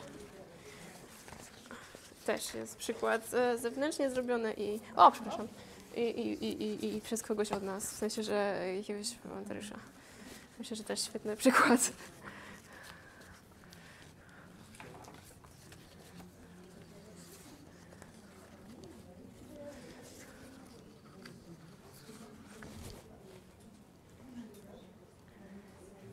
A czy, mam takie pytanie. Mhm. E, e, czy jakoś sprawdzacie różnicę pomiędzy deklaracją a stanem faktycznym? Wiem, że to było, e, były badania na temat, e, były, po prostu badane w jakiś sposób. Jakby mamy też laboratorium, ono jest w Wielkiej Brytanii, na całej Greenpeace na laboratorium, ale zawsze i oni też jakby można im przesłać próbki i sprawdzić. Także tak to wygląda. Dobra, e, są te, są te dwie ulotki. E, która z tych ulotek wydaje Wam się bardziej przydatna? Zgadza się. Um, Okej. Która Waszym zdaniem została zrobiona przez wolontariusza e, i nie zapłaciliśmy za nią nic, bo jeszcze dodatkowo mieliśmy darmowy druk, a która, ale szybko została zrobiona, a druga została zrobiona przez jakąś tam właśnie, e, przez jakiegoś grafika profesjonalnie. Która to która? Chyba tak. Widać, nie? A, I tu właśnie chciałam Was jakby na to trochę uczulić. Mam tutaj taki drugi przykład, nie wiem, czy ktoś chce zobaczyć. Jest Ale tylko przez grafika, czy też przez papiery? przez, przez, e, przez, e, przez e, agencję często. Jeśli chodzi o... Tak, też. Mam jeszcze tutaj taki przykład. e, Ulotka węglowa, świetna po prostu. Proszę. I mam jeszcze jedną, jeśli ktoś... Hmm? Dobra. I tu też widać dosyć dużo... E, dużą różnicę. Mhm. Jeszcze raz? Trochę zależy od tego, jaki Mhm. Halo? Halo, halo? To nie jest takie trochę oczywiste, że Mhm. żeby zapłacić firmie, żeby nam zrobić Mhm. ulotkę. Jeżeli, y, y, ja czasami szukam wolontariuszy czy wolontariuszek, którzy mają konkretne umiejętności. Zgadza się. Nie, y, Mhm. Nierzadko są osoby, które się zajmują DTP, czy tam jak to się nazywa, Mhm. wszystkie y, rzeczy związane z grafiką i układaniem takich Mhm. broszur i chcą y, na przykład zrobić nam coś. Czasami są Zgadza jakieś, się. Nie wiem, firmy PR-owskie, które pro bono pewne rzeczy Tak. Więc jest Też tak, jest ważne. prostu, Mhm. ym, No można jakby pewnym nakładem tak? Znaleźć osoby, które zrobią nam coś e, równie dobrze. Czasami na przykład mamy zdalnego wolontariuszkę, ale wystarczy udostępnić im jakieś programy, które mamy w biurze. Mhm. Kom- Komputer z oprogramowaniem do, do takich rzeczy, do składu. Mhm. I ta osoba też może to zrobić, więc Mhm. nie ma kasy, no to też musi tutaj Tak, kombinować. kreatywność, żeby Mhm. coś takiego wytworzyć. Łatwiej jest Mhm. ale myślę, że da się to zrobić też bezkosztowo albo niskokosztowo. Niskokosztowo, to też, to też jest prawda. My na przykład też mamy taki przykład, e, mamy taką jakby dziewczynę, która ma, jest dosyć jakby uzdolniona i ona jakby za, założyła jakąś tam swoją małą jakby agencję, tak jakby chce, chce, chce to robić, tak? Natomiast e, ja poprosiłam, żeby zrobiła jakiś tam materiał dla, dla nas, który wygląda o, nie wolę lepiej to, co niż to, co mieliśmy wcześniej, akurat nie mam przy sobie, ale to nie wygląda, nie, nie wygląda źle, naprawdę.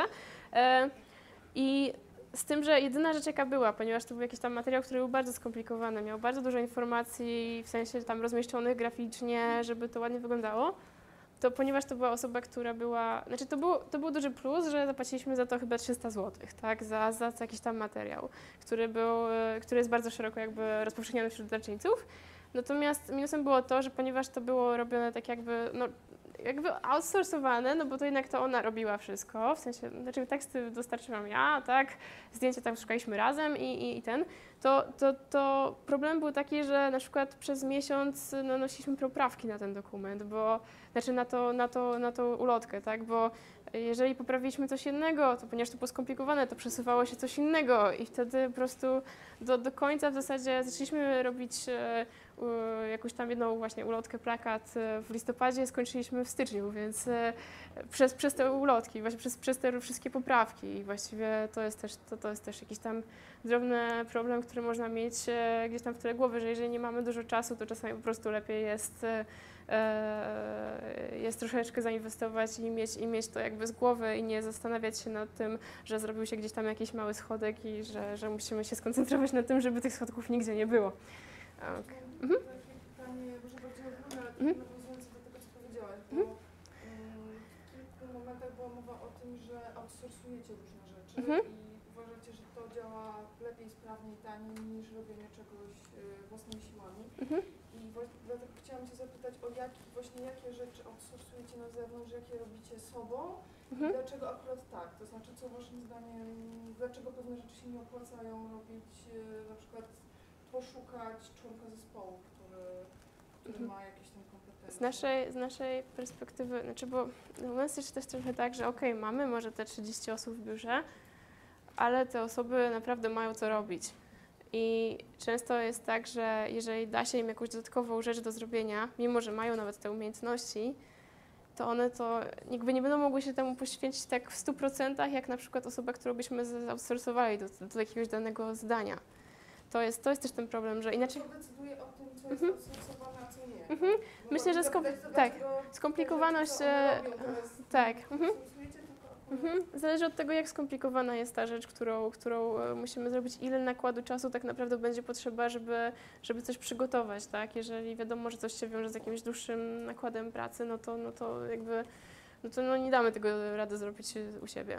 A mamy też na przykład taki fajny przykład, bo mamy e, komunikację, że przejdę dalej, e, z naszymi darczyńcami, e, którzy dostają też tradycyjne listy, aczkolwiek dostają tam tylko raz w roku, bo, no bo bez, bez przesady jesteśmy ekologiczni, nie będziemy tak wysyłać im dużo, to był taki czas, kiedy stwierdziliśmy, że no, mm, budżet jest kiepski rzeczywiście, to musimy wszystko drukować u nas i tam ogólnie i wyślemy też u nas. I mieliśmy na przykład e, 11 tysięcy listów do wysłania, które musieliśmy przez dwa dni drukować na naszej drukarce, która jakby która totalnie jakby nie dawała rady, trzeba było dzielić, dzielić bazy na jakieś mniejsze bazy, żeby ta drukarka była w ogóle w stanie coś wydrukować dla tych darczyńców, potem trzeba było to wszystko zapakować.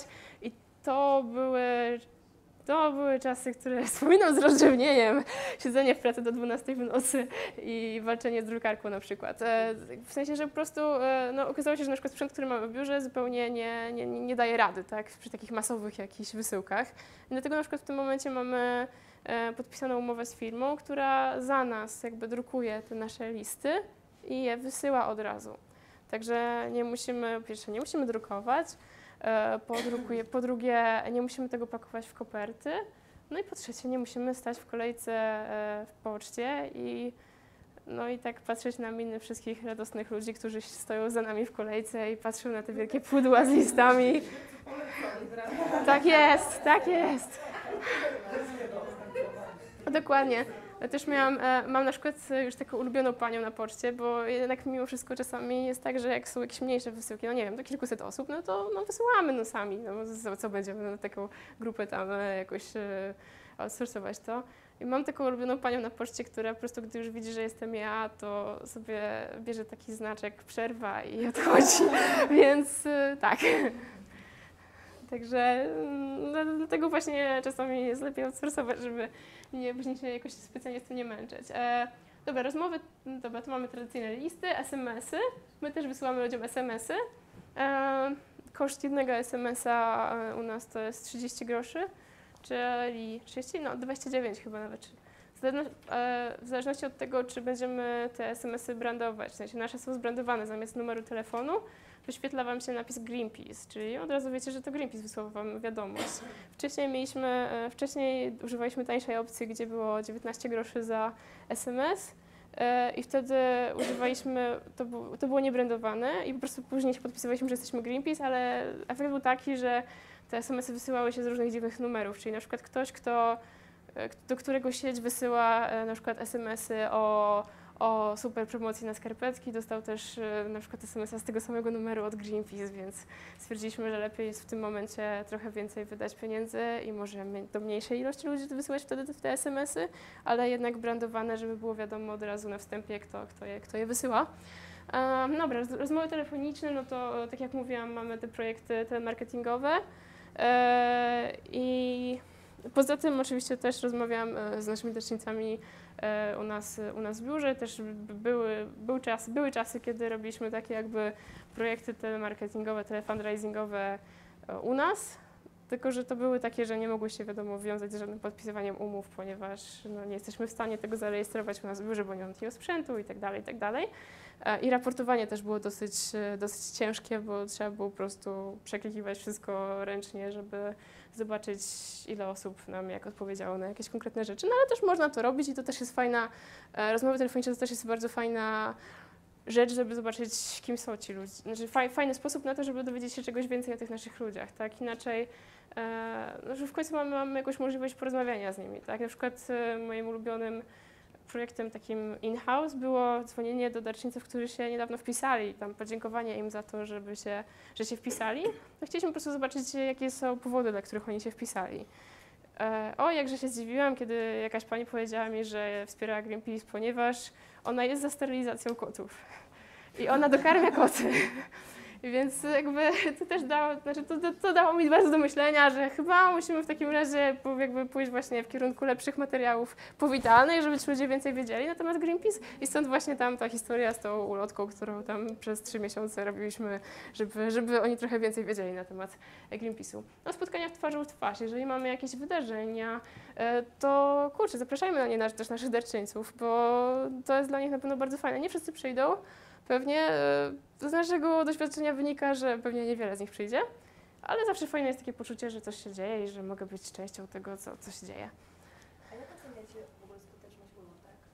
Drukowanych materiałów? Drukowanych materiałów. E, ja oceniam tą skuteczność bardzo nisko, ale to też może być zależne od grupy docelowej. Tak? Na, u nas jednak e, większość rzeczy się dzieje online, czyli jakieś pe- petycje do podpisania, to wszystko jest online.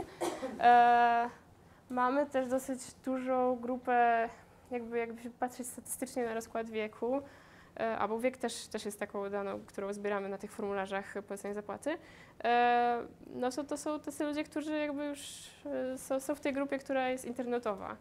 I u nas, u nas po prostu się te ulotki specjalnie nie opłacają, więc jeżeli teraz coś drukujemy, to drukujemy w małych nakładach raczej.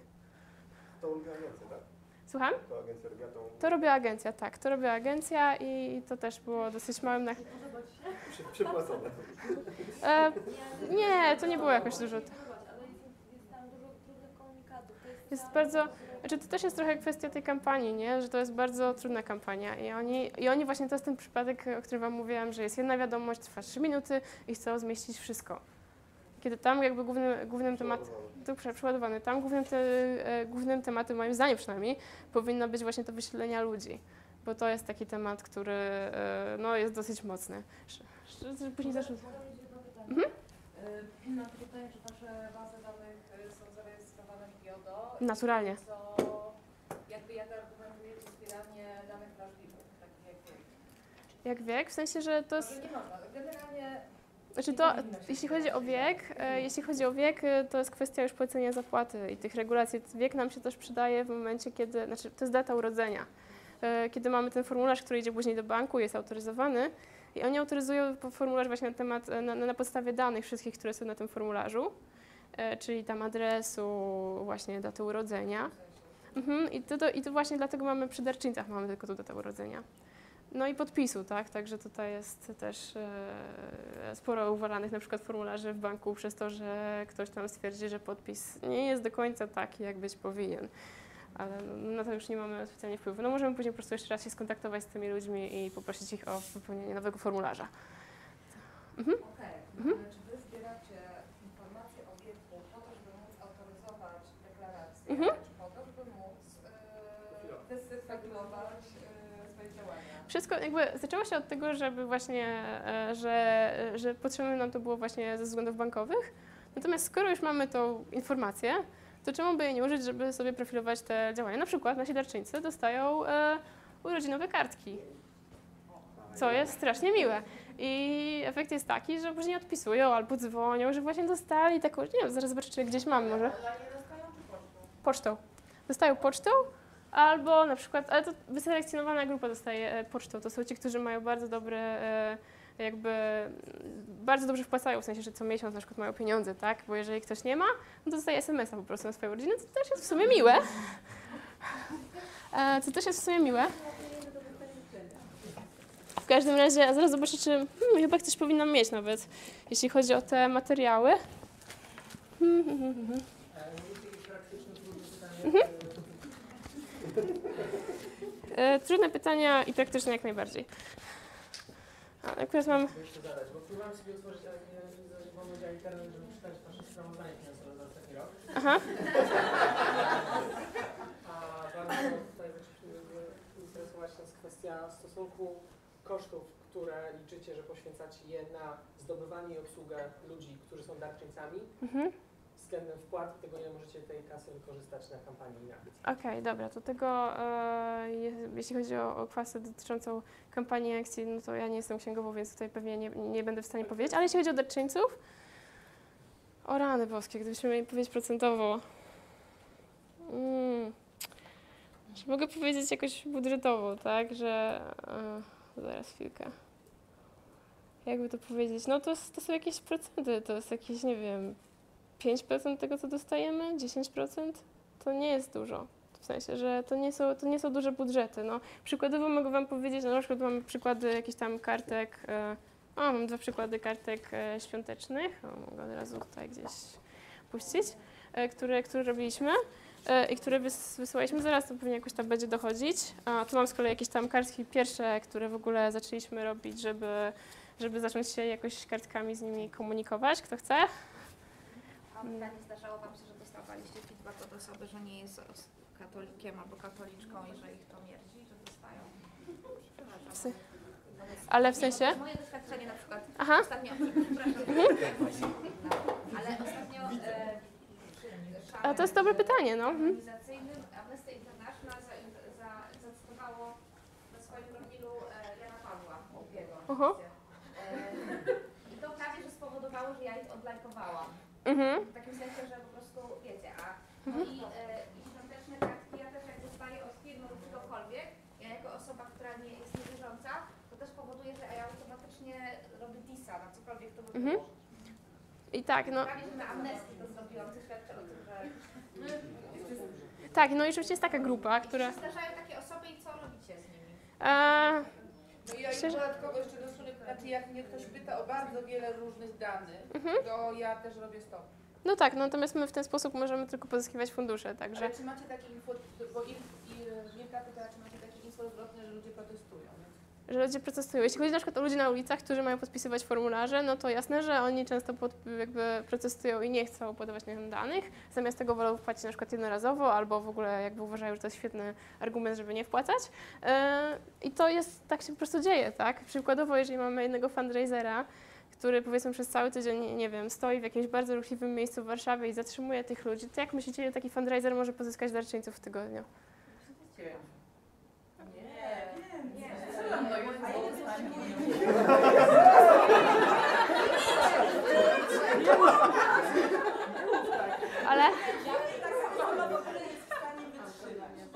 zależy, to wszystko zależy, bo różnie... Ale co, ale to nie są 8-godzinne. 7 godzin, 7 godzinne stanie. 7 Siedem godzin dziennie. w stanie podchodzić non-stop i nawijać. A to ile, ile, Z ile? taką energią, z takim uśmiechem. Ja, z ja wytrzymałam kiedyś cztery do czegoś innego i naprawdę zgasło mi światełko na następne kilka lat. Zaraz, zaraz powiem. No jeszcze tu jest jedno pytanie. Ja myślę, że, że musi wspierać tyle, żeby się zwróciło jej wynagrodzenie, jej lub jego wynagrodzenie. Aha. No to myślę, że to musi być 50. Ale co, w tygodniu? 50? dobrze. Mamy w, ty, w tygodniu. 30 w tygodniu, 5 w tygodniu, ile? Pię- Kilkadziesiąt. E, więc najbliżej e, prawdy była odpowiedź 5.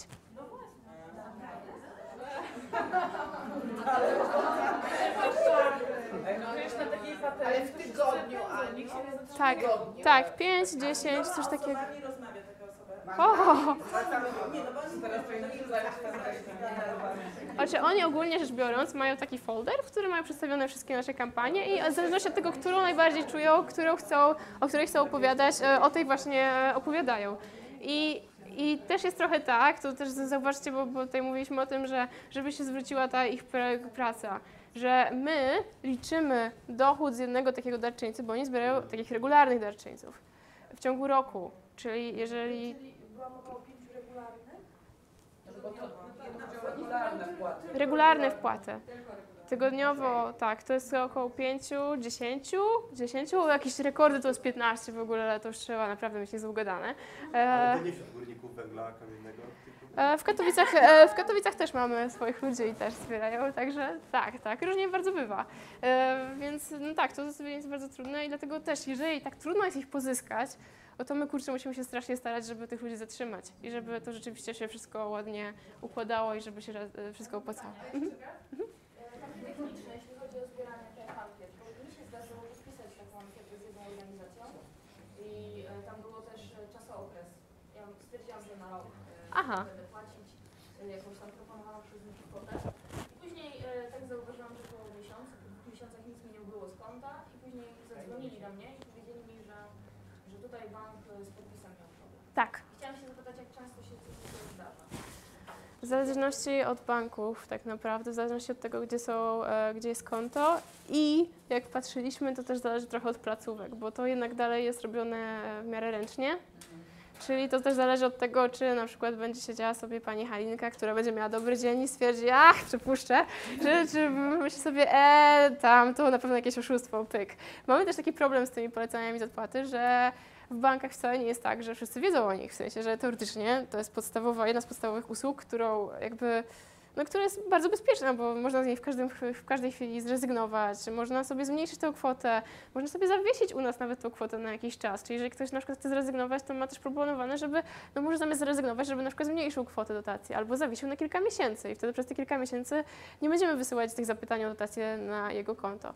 Więc tutaj naprawdę jest to bardzo bezpieczne i zrobione tak, żeby ci ludzie jakby byli dobrze zaopiekowani. No poza tym jest też ten proces autoryzacji, czyli sprawdzenia, czy wszystko jest w porządku.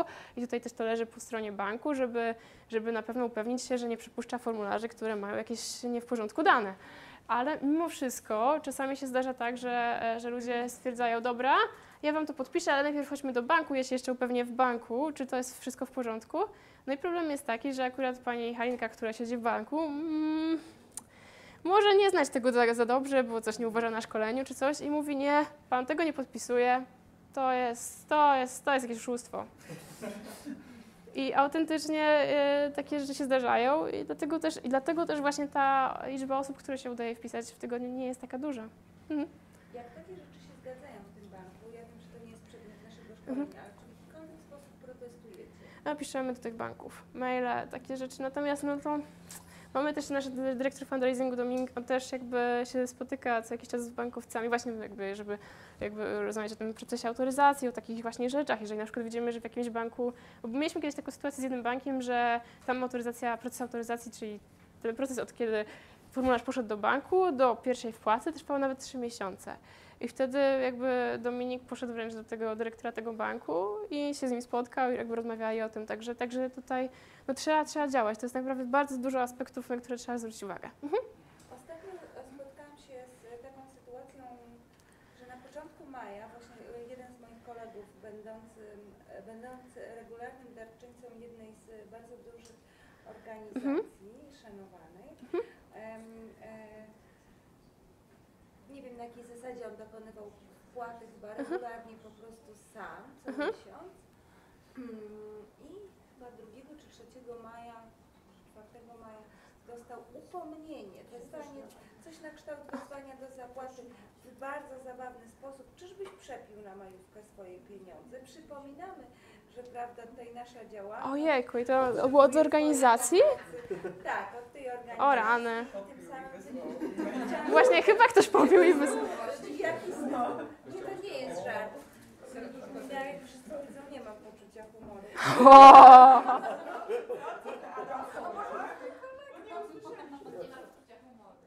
Nie, nie, nie, coś takiego nie, nie, nie wysyłamy my. Ale czy Nie. wysyłacie przypom- przypomnienie takim, że o, dotychczas na Nie, nie, nie, nie. Człowiek się czuje zawstydzony na przykład, że nie ma kasy na No, my, my właśnie nie ma? z tego, z tego względu my właśnie tego nie robimy. Nie, nie robimy tego po prostu. Bo no i tak tam ludzie jak rezygnują na przykład, to tam wymyślają bardzo różne powody. Na przykład często jakby standardem dla mnie jest to, że powiedzmy wpisała się jakaś młoda osoba, która widać, że jest jeszcze studentem.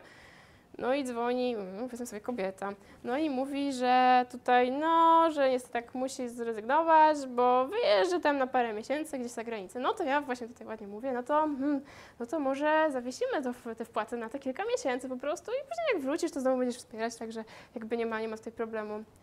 Nie, bo ja to właściwie teraz zaczęłam studia i stypendium mi obcięli. A, no to może zmniejszymy tę kwotę dotacji, bo dzięki temu będziemy, jakby będziesz mogła nas wspierać, to nie będzie dla Ciebie obciążające.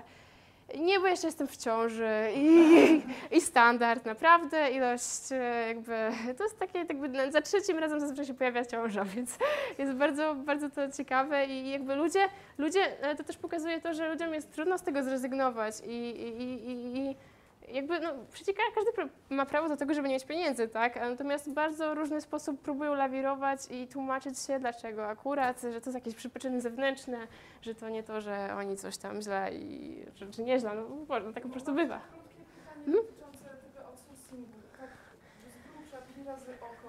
Jak procentowo wygląda budżet, który idzie na biuro, a biu- budżet na jakby outsourcowane usługi? A, outsourcowane. Mogę powiedzieć tylko ile, e, jeśli chodzi o fundraising, jeśli chodzi o budżet, który idzie na biuro, a budżet, który idzie na fundraising.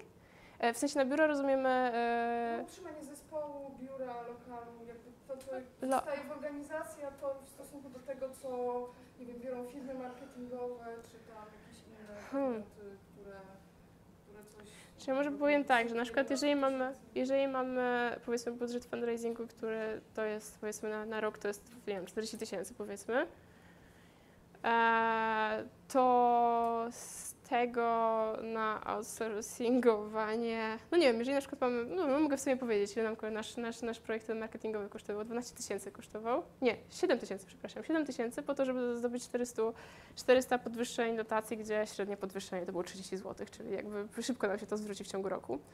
E, to jakby my możemy, mamy jakieś konkretne zabudżetowane rzeczy i, i naprawdę za- dużego ruchu tutaj nie mamy, bo wszystko jest dosyć, dosyć napięte, więc e, jeśli chodzi o procentowo, to, to, to te kampanie też nie mają jakichś niesamowicie dużych, e, znaczy zależy od, od tego, jaka to jest kampania, bo niektóre jakby, też mówię, że jesteśmy globalną organizacją, niektóre kampanie też dostają jakby pieniądze z innych Greenpeace'ów, dlatego że są kampanie, takie jak na przykład kampania węglowa, która jest w całej Europie, także na przykład ta kampania może zrobić dużo więcej niż jakaś inna kampania w tym momencie, dlatego że, że, że, te, że te pieniądze są jakby w ramach całej organizacji przesuwane do tego kraju, w którym akurat jest duża potrzeba. No w Polsce jest, jest dosyć duży problem z, z energią węglową i, i, i, dlatego, i dlatego akurat mamy na przykład na to pieniędzy więcej, co nie znaczy, że my jako Polska musieliśmy je sami zdobyć. Tym bardziej, że akurat kampania węglowa, jak mówicie o tych górnikach, y, no nie jest specjalnie u nas y, ciepło odbierana wcale. Gdzieś tam jest takie poczucie, że A no, ile osób na pełen etat pracuje w swoim dziale? w moim dziale, w sensie fundraisingu czy w Fundraising i komunikacja z... darczyńcami. Dobrze, więc jeśli chodzi o fundraising, e, bo mamy oczywiście tych fundraiserów, którzy są na ulicy, no poza tym mamy kilka osób, które są w biurze. W biurze mamy cztery osoby, pięć. E, jeśli, z czego jedna z tych osób to jest dyrektor fundraisingu, druga z tych osób to jest e, osoba, która robi nam wszystkie raporty i, i jakby jest menedżerem baz danych i zajmuje się tym, żeby dobrze segmentować te, te, te osoby i tak dalej. E, I, I robić jakieś raporty na przykład też dla tych właśnie, dla zagranicy, tak, bo mamy centralę e, gdzieś poza granicą. No jeśli chodzi o obsługę darczyńców, to ja właśnie. To byłoby na tyle. Czyli mam 15 tysięcy darczyńców jedną osobę. Nie, nie naprawdę, jeśli chodzi o te, o te koszty, bo najwięcej, wiadomo, funduszy tak naprawdę idzie na pensje, tak? I e, mm, jakby nie patrzeć, jakby te pensje też są liczone tak, że się kumulują roku, znaczy z miesiąca na miesiąc, z miesiąca na miesiąc, więc dla nas na przykład, dlatego też outsourcujemy dużo rzeczy, bo nam się to dużo bardziej opłaca niż zatrudnienie nawet kogoś na jakiś czas, żeby nam coś zrobił po prostu. U nas jakby te koszty są, no, no, no rzeczywiście jeśli chodzi o koszty nie jest, nie jest jakoś tam super wesoło. Jakby trzeba bardzo kombinować. No przykładowo właśnie e, jak mieliśmy wysyłkę świąteczną, e, tam gdzieś tam pewnie lata jeszcze ta kartka świąteczna, któraś z nich, to mamy takie jakieś założenie, że jak mamy takich super fajnych darczyńców, którzy nam wpłacają na przykład w sumie 1000 zł rocznie, to jest w ogóle dla nas bardzo fajne. E, No to, że my ich jakoś tam dopieścimy ich na te święta, coś im jeszcze wyślemy, jakiegoś miłego, żeby było im miło. I w zeszłym roku e, okazało się, że kwota, którą mamy, i którą możemy, za którą możemy im kupić ten wspaniały jakiś tam upominek, coś, co możemy dołączyć do naszej wysyłki, to jest złote 80 na osobę. Więc tutaj naprawdę, jeśli chodzi o koszty, e, kosztowo my jakby tutaj pewnych rzeczy nie przeskoczymy. To, co możemy przeskoczyć, to są jakieś po prostu pomysły, kreatywność. I tutaj też, jeżeli mamy jakieś wolontariuszy, na przykład ja mam też jakichś swoich wolontariuszy, których czasami używam po prostu do tego, żeby coś tam wymyślali, jeżeli na przykład ja jestem przeciążona, bo zdarza się bardzo długo pracować, chyba jak w każdym NGO-sie, i, i, i, i robić różne, różne rzeczy, to jeżeli jesteśmy przeciążeni, to nie mamy po prostu, przynajmniej ja nie mam specjalnie e, głowy na to, żeby jakoś specjalnie kreatywnie nad czymś tam pomyśleć, więc często jeżeli mamy takie burze mózgów na temat tego, co moglibyśmy tym darczyńcom jeszcze fajnego zrobić, to też wykorzystujemy właśnie pomysły naszych wolontariuszy, którzy mają jakby też inne podejście w ogóle do tego, co jest też bardzo, bardzo fajne. Wręcz nawet e, często biorę nowych zupełnie wolontariuszy, którzy jeszcze nie siedzą w tych schematach organizacyjnych i nie, czyta, nie odczytali się tych wszystkich raportów i, i, i, i mogą coś, coś świeżego mi po prostu wymyśleć. A, no, no. dbacie o wolontariuszy czy o darczyńców? I czym się różni komunikacja z darczyńcami od tej komunikacji z wolontariuszami? A, jeśli chodzi o wolontariuszy, to nie wiem, czy Maciek coś wczoraj mówił o tej strukturze wolontariatu, natomiast e, to jest oddzielny w ogóle dział. Jest oddzielne, e, oddzielne osoby się zajmują wolontariuszami i oddzielne darczyńcami. Także jeżeli wolontariusz jest darczyńcą także, to dostaje też tę komunikację od darczyńców, natomiast wolontariusze z racji tego, jaka jest w ogóle ich rola, co oni robią w Greenpeace, e, bo- są prawda, różne, różne rzeczy, które mogą robić. Jakoś nie będę się wdawać w szczegóły ze względów na to, żeby nikomu nie zaszkodzić, bo mamy teraz PGE, które nas obserwuje bardzo i na wszystkich rozprawach naszych jest, więc trzeba strasznie uważać na słowa. To jest też jakiś taki nasz problem akurat. E, no, to, no to rzeczywiście zależy się od tego, co robią, dostają takie konkretne komunikaty, bo są tacy ludzie, którzy chcą się angażować właśnie w te, nie wiem, e, w takie wydarzenia, które są później widziane w mediach, tak, z jakimiś banerami. A są też tacy ludzie, którzy raczej wolą tak lokalnie, czy tam jakieś jakiś, nie wiem, na jakimś, nie wiem, na przykład biobazarze się pojawić i coś tam o czymś mówić. No to są, to są bardzo różne działania i wszystko zależy od tego, jaki mają profil. Także oni też są trochę sprofilowani. To też się działo w ciągu ostatnich e, lat, że zaczęło się ich jakby dzielić, tych wolontariuszy także na grupy i patrzeć e, jakby do której grupy czym można, czym można do, docierać, tak? Są ludzie, którzy są bardzo wyspecjalizowani, mają bardzo specjalistyczną wiedzę, są tacy, którzy właśnie nie, ale za to mają dużo takiej werwy, żeby tam właśnie robić dużo rzeczy, tysiąc rzeczy naraz i, i ich możemy zupełnie inaczej wykorzystać. My, mi się wydaje, że do tej pory jeszcze nie do końca wykorzystujemy te wszystkie ich zdolności, no ale pracujemy nad tym, także tak. A generalnie z wolontariuszem, bo Maciek wczoraj podawał liczbę 100. Yy, no to generalnie 100 to można ogarnąć w takich osobistych relacjach, czyli jakoś... yy, Nie, nie, nie, nie, nie, że mamy, ponieważ e, znaczy te 100 to jest takie, to oni, to oni też tam rotują, tak przychodzą nowi ludzie, odchodzą, to jest też, to jest też płynne bardzo, 100, 150, coś takiego powiedziałabym. E, w takich e, ogólnie relacjach e, międzyludzkich to byłoby ciężkie, dlatego właśnie ze względu na ich wyspecjalizowanie, na to, że oni, oni często mają bardzo różne umiejętności i, i trzeba do nich po prostu inaczej podchodzić. Inaczej podchodzimy do kogoś, kto jest naszym wolontariuszem, ale przy okazji jest, nie wiem, jakimś doktorem nauk przyrodniczym, e, przyrodniczych, a inaczej do kogoś, kto jest po prostu, e, nie wiem, na przykład jakimś studentem, nie wiem, socjologii, który chce tutaj sobie podziałać trochę. Więc to dlatego nie, nie może tak do końca iść na, na zasadzie takich po prostu zwykłych relacji, bo tego jest naprawdę dużo i to, to jest też ważne, że e, oni też mają swoje potrzeby, tak? Oni też mają swoje oczekiwania względem tego, co, co organizacja im zapewni. I, i, I też jest ważne to, żeby mieć dla nich e, coś, coś do zrobienia. Są ludzie, którzy jakby są, jest dla nich w porządku to, że zaangażują się raz w roku i to im zupełnie wystarczy, ale są tacy, którzy chcą ciągle. I wtedy trzeba jakby mieć też gdzieś w tyle głowy, że jeżeli mamy coś, co w tym momencie możemy im dać, to, to dajmy im to, bo inaczej nam odejdą po prostu. By- Był to, znaczy parę lat temu był to dosyć duży problem, że, że, że, że były takie momenty, kiedy oni jakby nie tyle nie mieli co robić, co po prostu osoby, które tak naprawdę potrzebowały pomocy, nie, nie wpadywały, nie, nie, nie miały tego pomysłu, że mogą w sumie wykorzystać to tych wolontariuszy. Też nie mieliśmy takiej wiedzy o nich. No dobra, no i teraz jeszcze chciałam zwrócić uwagę na to, że jeżeli mamy na przykład e, petycję online, no to na przykład rozdawanie ulot, tak no może jeszcze, ale powiedzmy sobie, że nie wiem, program, nie, nie, nie, nie, nie. Billboardy na ulicach mogły się specjalnie na przykład nie sprawdzić, tak, jeżeli mamy petycję online, tak.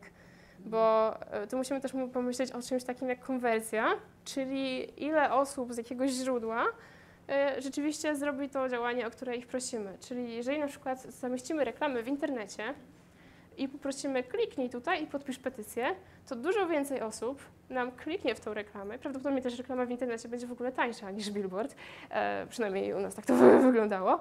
E, to dużo więcej osób kliknie na tą reklamę i rzeczywiście się wpisze, niż zobaczy billboard w drodze do pracy i stwierdzi, hmm, ale fajne, muszę pamiętać, żeby wieczorem się wpisać i, i tutaj poprzeć tą sprawę.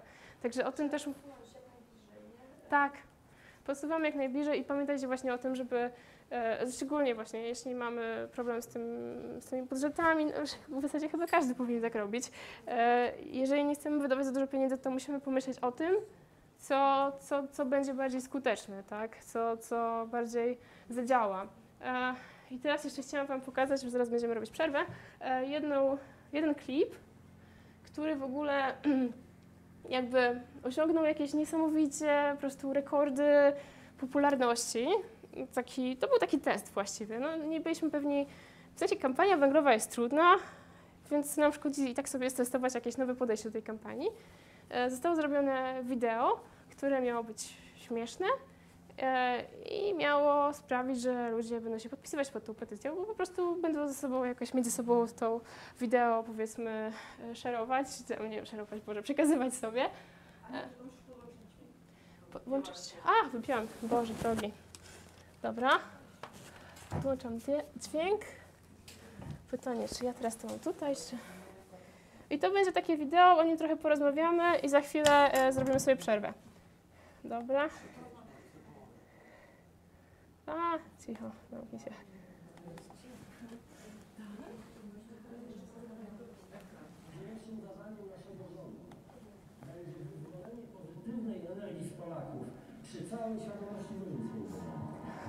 Przepraszam za kontekst. I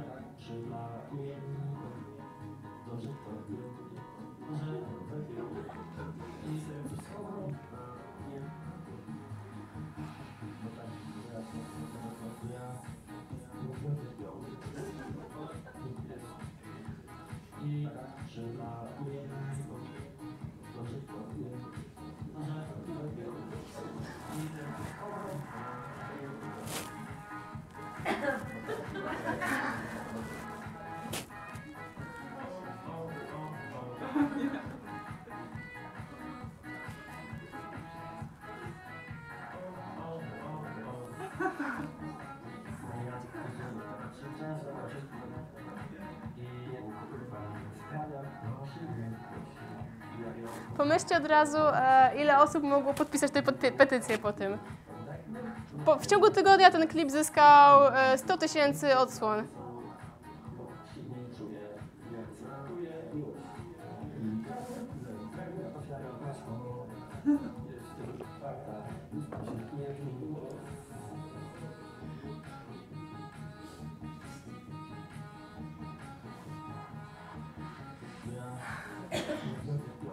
Jeszcze trochę tylko.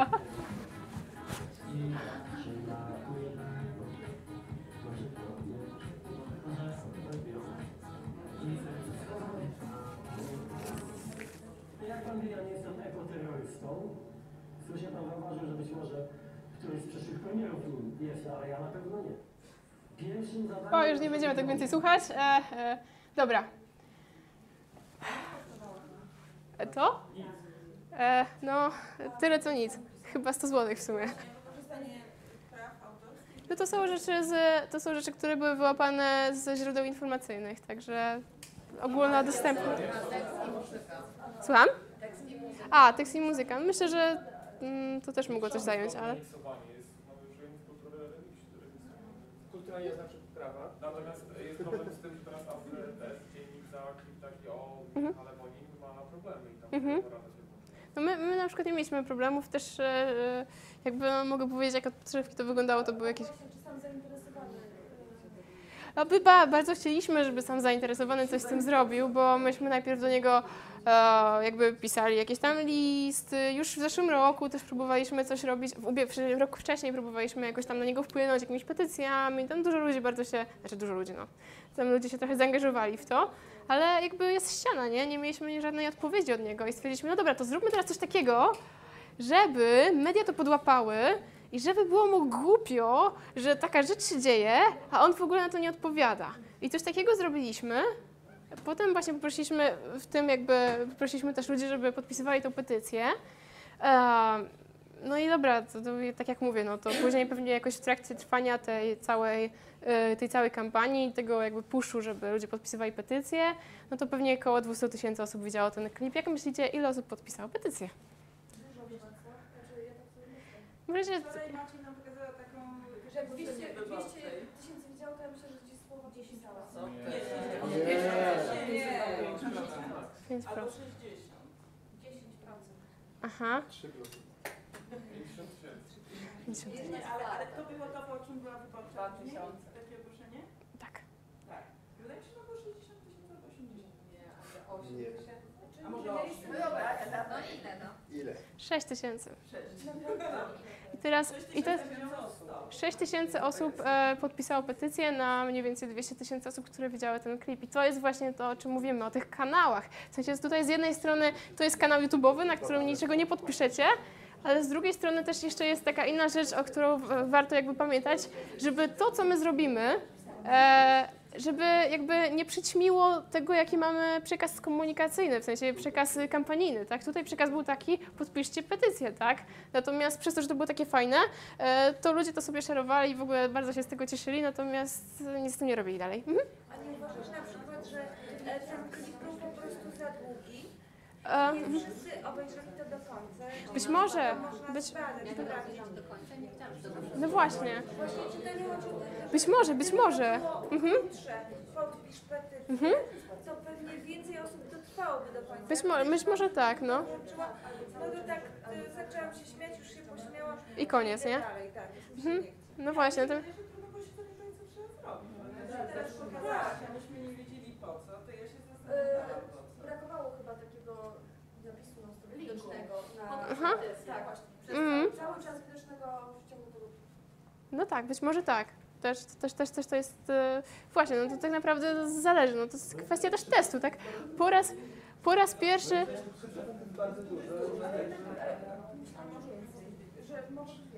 Natomiast fajna rzecz, która się później stała, to było.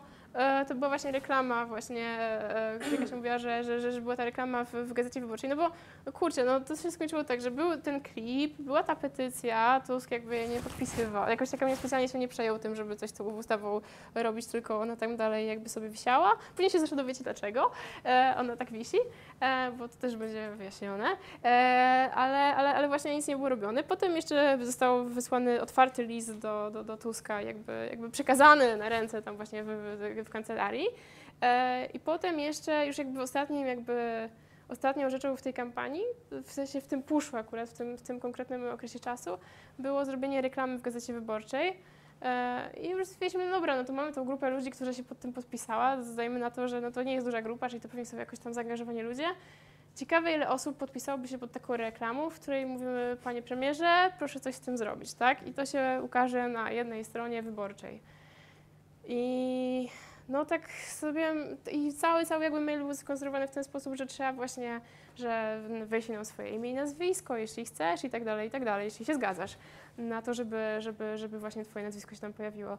I mieliśmy strasznie duży problem, bo oczywiście nie wiedzieliśmy, bo też był test. To, ta kampania była w ogóle w tym momencie bardzo testowana przez właśnie Bogdana, który jest naszym nowomediowym jakby specjalistą i bardzo fajnie tutaj podchodzi od zupełnie innej strony do, do, do, do problemu. I to był test. No i zastanawialiśmy się bardzo, w sumie nie mogliśmy zaprojektować tej reklamy z grafikiem, dopóki nie wiedzieliśmy, ile mamy nazwisk. Więc trzeba było zaprojektować jakby dwa warianty, że co zrobić, jak będzie strasznie mało tych nazwisk, bo, bo, tak mogło się stać, a co, jak będzie bardzo dużo. I, I okazało się w końcu, że tych nazwisk było chyba około 600 imion i nazwisk i tego się nie spodziewaliśmy. E, 600, no kilka, kilka, ki- kilkaset na pewno. E, I, i, I tego się nie spodziewaliśmy i problem był raczej taki, żeby upchnąć te wszystkie nazwiska na jednej stronie, więc one były malutkie i wszystko ładnie, bardzo ba- ładnie wyglądało. E, Natomiast no to też jest właśnie kwestia tego, że nawet wśród tych ludzi, którzy są za jakąś kampanią, możemy jakby sobie ich podzielić na tych, którzy są bardziej zaangażowani i mniej zaangażowani. I są tacy, którzy dla nas zrobią wszystko, przyjdą nawet na nasze wydarzenie, ale są też tacy, którzy no, podpiszą petycję. Ja już przecież podpisałem petycję, już nic więcej nie muszę robić. Więc trzeba też to wziąć pod uwagę, że, że, że, że, że, że różnie. Poza tym też jakby nasze wiadomości też e, trafiają jakby na odbiorcę, który może być zajęty, który może mieć inne rzeczy do zrobienia w tym momencie i, i dlatego ten przekaz też może czasami nie przychodzić. To też nie jest tak, że przejście od gazety do komputera, zapamiętanie, więc to właśnie tak No właśnie. dostępu do, do narzędzia, które mam użyć, jest długa. Jest długa. Do, Mhm. Nie, dokładnie. W sensie tam już jakby jeśli chodziło o tą reklamę, ona już nie była nawiązaniem do tego, żeby podpisać petycję, tylko była raczej takim kolejnym krzykiem do premiera. Panie premierze, już tyle razy pan nas po prostu olewał, chyba czas coś zrobić.